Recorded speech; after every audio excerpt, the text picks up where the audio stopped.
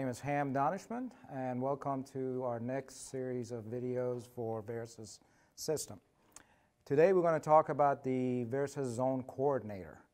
Verasys Zone Coordinator uh, is one controller, and this one particular controller can be used in two different applications. One would be our what we call a changeover bypass system, or some people call it VVT, or the same controller through configuration, through setup on the software side, can be used for a VAV system.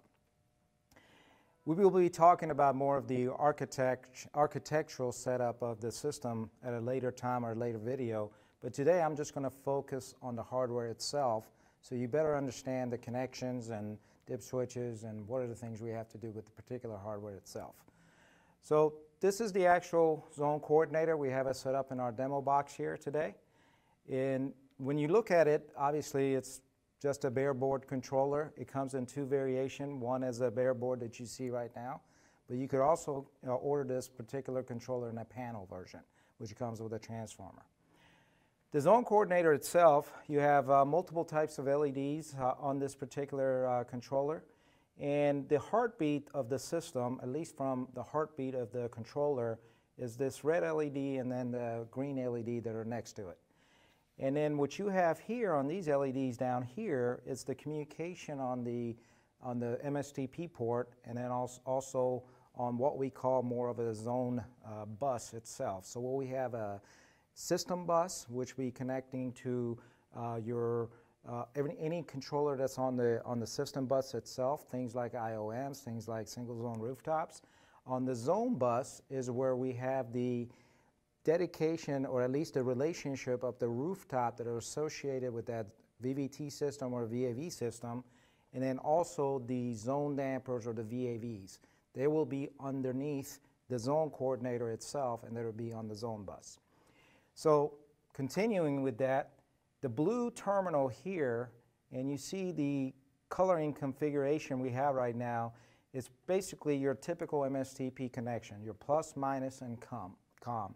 Plus, minus, and COM, that connects on your main bus itself, which what we call the system bus, and that could be connected to our Verasys uh, uh, Smart Building Hub itself, or it could be connected to another rooftop. The brown plug right here, this is what we have as our zone bus. The zone bus, again, is MSTP, so it's BACnet. Both ports are BACnet, and again is wired the same exact way, plus, minus, and COM. And then basically in series, you will pick up your rooftop controller and you could pick up any of these zone controllers that are underneath the zone coordinator itself. The zone co uh, coordinator also has a dip switch here. And this dip, dip switch, this is where you set the address, a dedicated address for the zone coordinator. Now that particular address is for the system bus. So you will give it a identify an address that is not being used on any other devices on the architecture that you're installing, and then you specify an address. In this case, I believe this is set to address 10, and then you'll have a, a, a basically a dip switch settings that starts from 1, 2, 4, 8, 16, 32, very typical dip switch settings, and then you turn them on and off based on how you want that address setting to be. We also have what we call end-of-line switches, and these end-of-line switches are used based on the length of the trunk itself or the bus itself, different terminologies for communication.